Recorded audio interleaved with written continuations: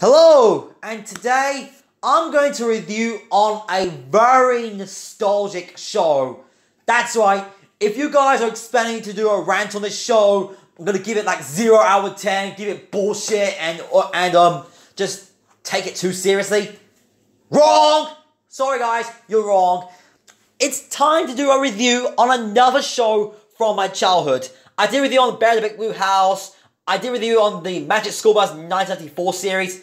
This is another show from my childhood, which I watched the most on Tiny Pop as a kid. So now, let's get to the plot. So the base of the plot is we have this raccoon called Timothy, and then he goes to school. That's the plot, but it gets better.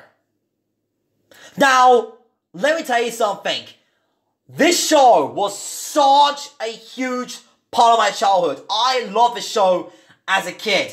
And I'm looking back to this show to this day to see it holds up. I have to say is, it holds up very well. But now let's go name all the characters, shall we? Believe it or not, I actually remember most of the characters. We have Timothy, who is um, the main character of the show. We have um, Mrs. Jenkins, who's the teacher. We have Henry, the bus driver, who takes the, the kids to school. We have Yoko. We have Doris. We have Grace. We have Lily. We have Fritz. We have um, Claude, which fuck Claude. I hate Claude. He sucks. We have Charles and we have Laura. And of course, we'll get to the Frank later because they're my favorite. We have all those characters. The reason I hate Claude because in the first episode, he said no one wears shirts on the first day of school, no one wears party clothes on second go. He's basically a show off. He's pretty much like a bully, but even though I kind of hate Claude, but he was nice in some of the episodes. Like from the example, he was he was nice in the episode when Timothy teaching how to swim. Which, even though I hate Claude, Claude is eh, he's okay. I guess. And now, let's talk about my favorite characters of this show. Wait, guys. My favorite show, my favorite characters of this show is Frank and Frank. Wow! Frank and Frank, the two bulldogs, are my favorite characters of the show. They're so damn hilarious. They're like the funniest characters of the show. I love seeing those guys on screen when I was a kid. I like the bit when, it's, when on the, on the show on the bus, it was like, me after you, me first, me after you, me first. We both go first. I love that love. oh man, Frank and Frank, they always made me laugh. They're like the funniest characters on show. I love seeing those guys on screen. They're hilarious. They're so damn funny. And I like to do the, the pranks and the jokes things. Oh, that was such a hilarious. Yeah, they're twins, and they born the same, same day, if you guys are wondering. One was yellow, and one's this black bulldog. I'm not racist, guys, just let you know. Great! There are fantastic characters. I love seeing Frank and Frank on screen. They were amazing. My second favorite character of the show, I have to say Henry the bus driver. He's a very likable character. I do like Henry the bus driver. He's very likable. I do like seeing that guy on screen.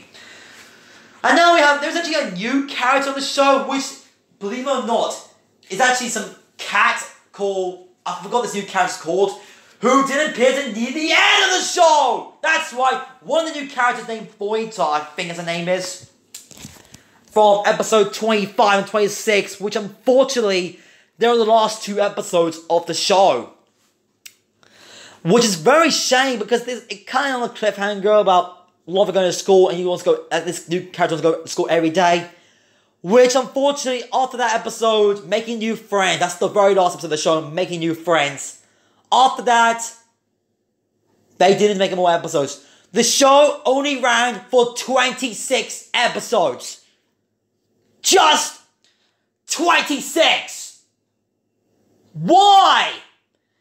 I remember when I was a kid, I wanted to see more episodes of the show.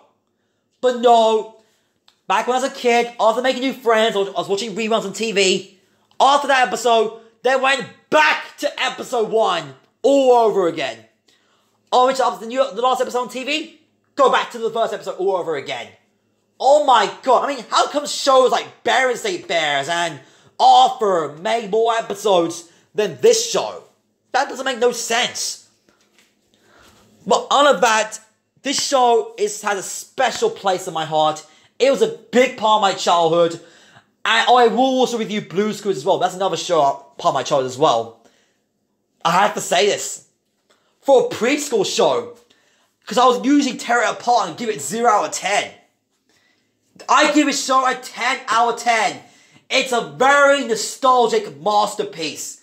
If you haven't seen this show yet, give it a watch. You know, I'm 20 years old, but I'm too old for this show, but you can give it a watch if you're older. So yeah, that's my review on Timothy Goes to School. Very part, show part of my childhood. And my next review is, I'm not sure, request anyone. See you guys later, see you guys next time.